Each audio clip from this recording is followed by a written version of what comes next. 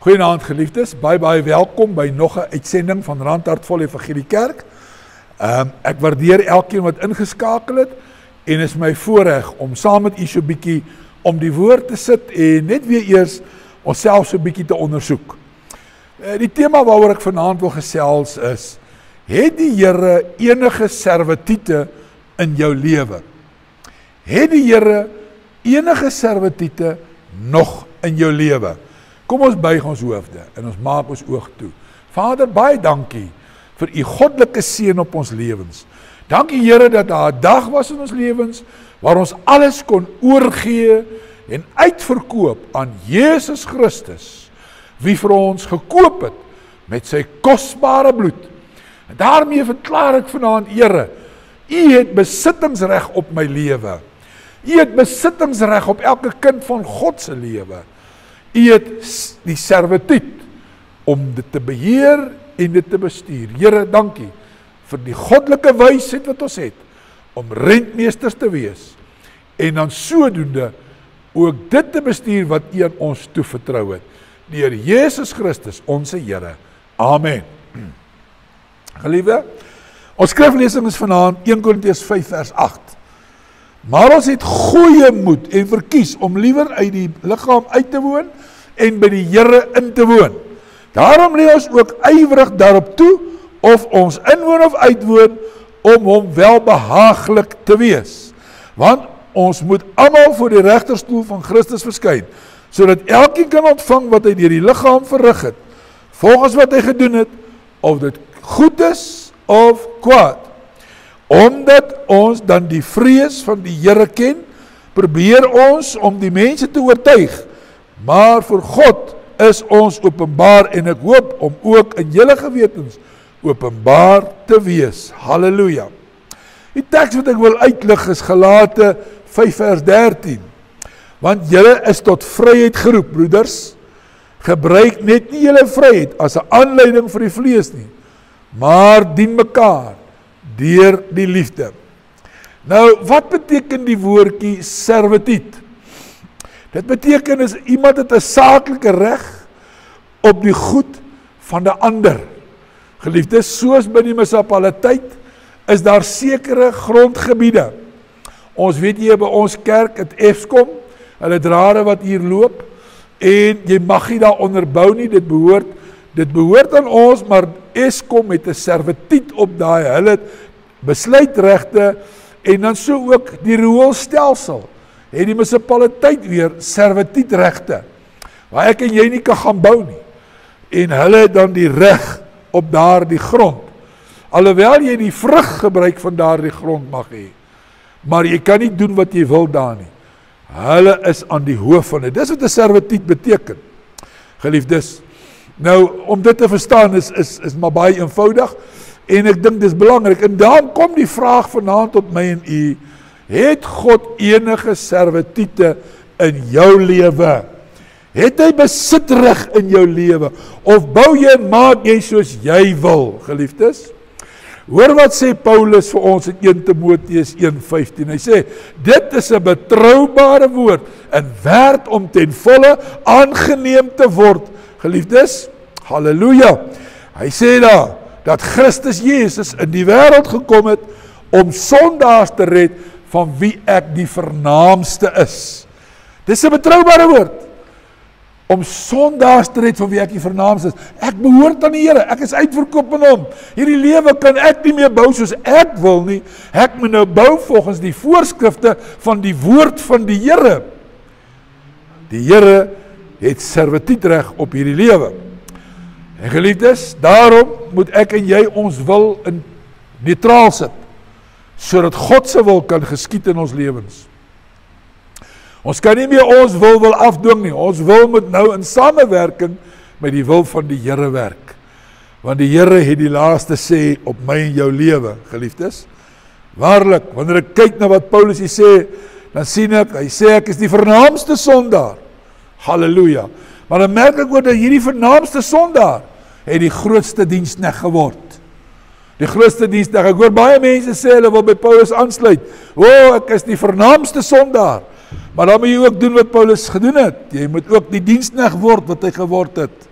Jy moet uitverkoop raak aan die Here. Die Here moet die reg hê op daardie gebied, op daardie lewe van jou geliefdes. Hoor wat sê 1 Korintiërs 15:10. Hy sê maar deur die genade van God is ek wat ek is.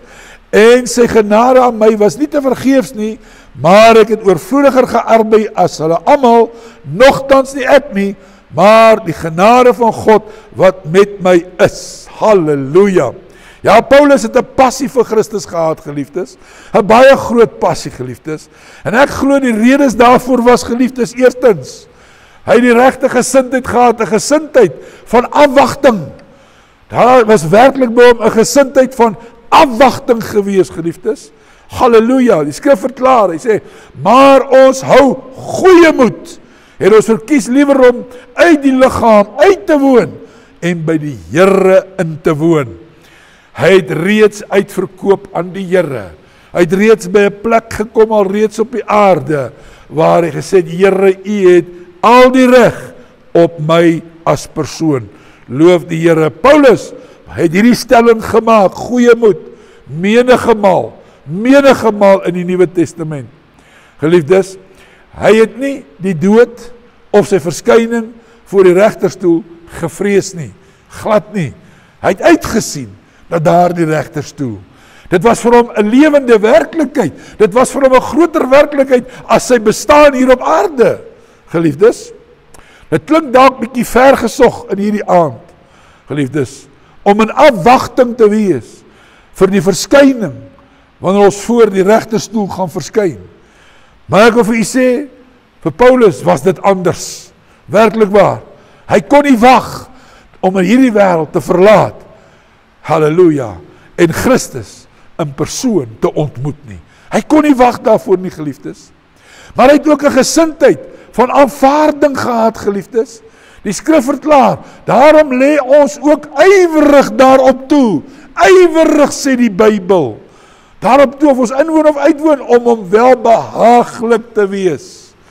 Hy het besef Hy het besef dat hy geen reg meer op sy lewe nie. Die Here het al die reg uitgekoop. En wie wanneer jy sê ek is gekoop deur die kosbare bloed, wanneer jy hierdie belydenis maak, dan wil ek vanaand vir jou sê kind van die Here, jy's uitverkoop aan Jesus Christus. En God is in staat om sy eiendom te beskerm. Halleluja. Die skrif is so duidelik daaromtrent geliefdes. Sy natings, nalatenskap, Paulus se nalatenskap was een van ywer. Hy het die Here vuriglik gedien sonder om ooit te twyfel wie hy in Christus is, sonder om ooit te twyfel van die volbragte werk wat deur die Gees in sy binneste gedoen is. Hy het nooit daaraan getwyfel nie. Hy het geen gedagte toegelaat om hom terug te vat na die ou dinge toe nie. Nee, hy het geweet hy staan onder die nuwe verbond, die bloedverbond van Jesus Christus. Ja, die bloed wat van beter dinge spreek as die bloed geliefdes van bokke en stiere. Halleluja. Want die bloed van Christus reinig ook ons gewete wat die bloed van bokke en stiere nie kon doen nie.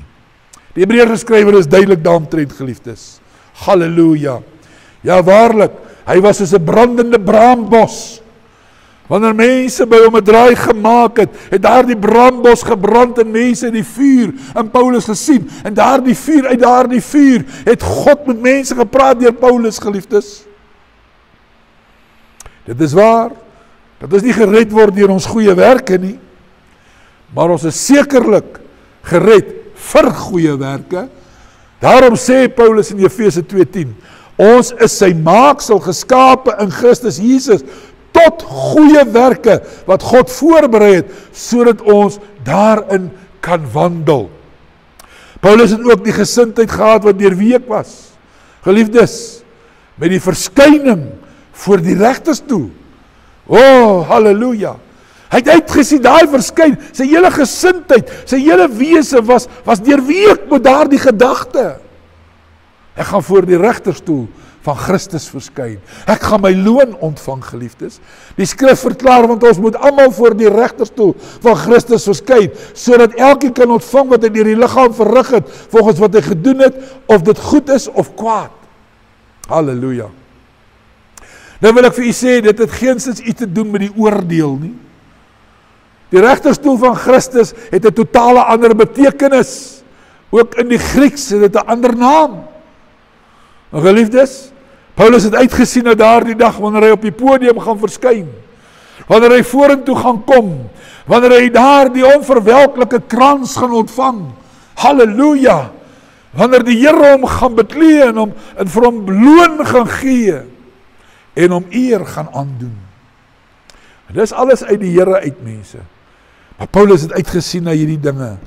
Halleluja. En ons almal gaan voor die regterstoel van Christus verskyn om loon te ontvang, geliefdes. Werklik waar.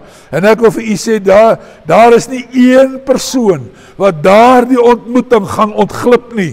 Glad nie. Nie een kind van die Here gaan daardie ontmoeting ontglip nie. Ja, baie se werke gaan almal se werke gaan deur vuur getoets word. En baie se werke gaan in vlamme opgaan.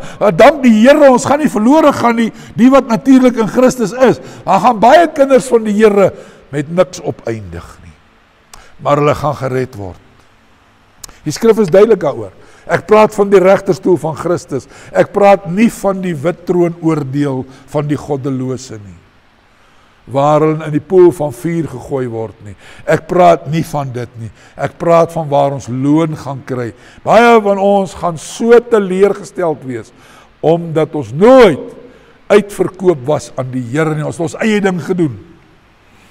Hoe hartseer Jy sien want wanneer ek op 'n servituut bou, kan die munisipaliteit enige tyd kom en hy kan alles opbreek sonder dat hy hoef te vergoed wat hy afgebreek het.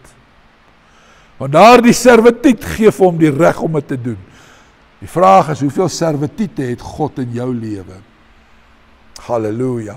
Vir die kind van die Here is dit stimulerend. Vir die kind van die Here wat oorgegee het aan Christus, wat weet ek is duur gekoop deur die kosbare bloed van Jesus Christus wat sy hele lewe as 'n servituut aan die Here oorgegee het en wat aan die Here dan behoort.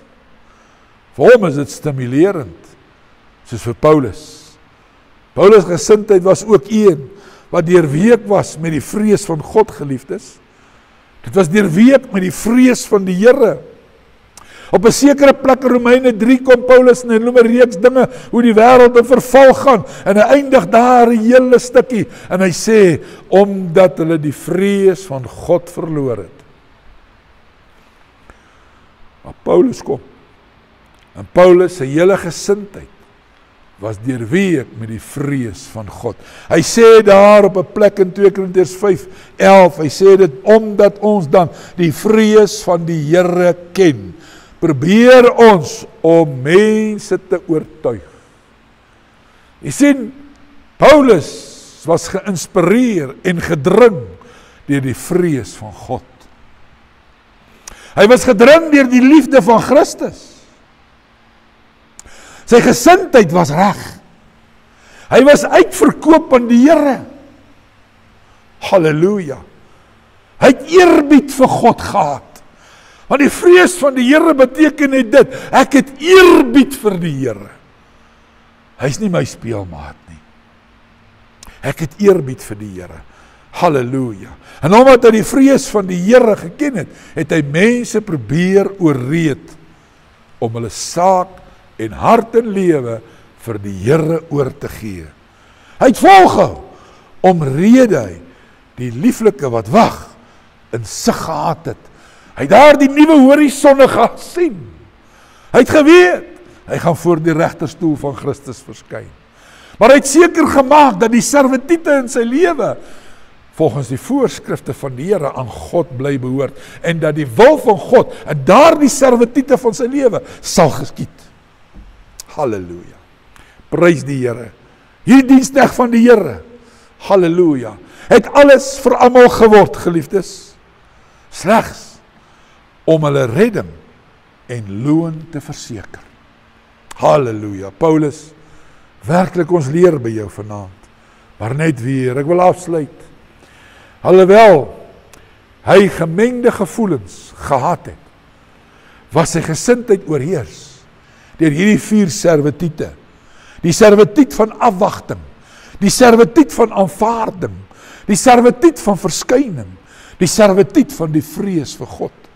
Hierdie aspekte was oorheersend te midde van sy gemengde gevoelens en emosies was hierdie aspekte van afwagting, aanvaarding, verskyning en die vrees van God oorheersend in sy lewe. Halleluja. Het die Here vanaand enige servitiete in jou gesindheid? Met ander woorde, het die Here 'n saaklike reg wat op jou rus. Jy bely jy's duur gekoop deur die kosbare bloed van die Here. Maar jy doen wat jy wil, jy bou soos jy wil. Jy besef nie ons is die akker van God. En ons moet versigtig bou sê Paulus. Ons moet versigtig bou op die fundament Jesus Christus. Ons moet bou soos die Here wil hê volgens sy voorskrifte. Want hy het 'n saaklike reg op jou en my lewe. As ek sê ek is duur gekoop deur die bloed van Jesus Christus, is dit nie net 'n belydenis, 'n verklaring wat ek maak nie. Dan wat ek dan eintlik sê is ek weet, Here, U het 'n saaklike reg op my lewe. En dan kom daar 'n dag as jy gebou het soos jy wil, dat al daai goedjies in vlamme sal opgaan en niks beduidend sal wees nie. Hoe hartseer sal dit nie wees nie. Tereg sê ons teks vir ons. Julle is tot vryheid geroep. Broeders, gebruik net nie julle vryheid as 'n aanleiding vir die vlees nie. Halleluja. Maar dien mekaar deur die liefde. Amen. Vader, ek sê vir U dankie vir U groot genade werk in ons lewens. Here dat ons vanaand net weer kan verklaar. U het 'n saaklike reg deur die bloed van Jesus Christus op elkeen van ons se lewens. Wys ons, gee ons insig in die besef om te weet dat ons lewens behoort nie meer aan ons nie, maar aan U omdat ons duur gekoop is deur die kosbare bloed van Jesus Christus. Amen.